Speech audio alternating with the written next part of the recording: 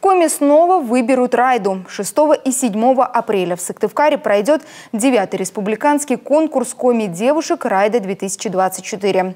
За почетный титул поборются представительницы от муниципальных образований республики и Коми диаспор в регионах России. Возраст участниц от 16 до 25 лет. В первый день им предстоит поразить жюри творческими способностями, показать знания коми-языка, культуры и истории республики, а также продемонстрировать имитировать традиционный семейный обряд. Гала-концерт с лучшими номерами основной программы, а также пятый тур конкурса «Дефиле» пройдет 7 апреля в Национальном музыкально-драматическом театре Республики Коми.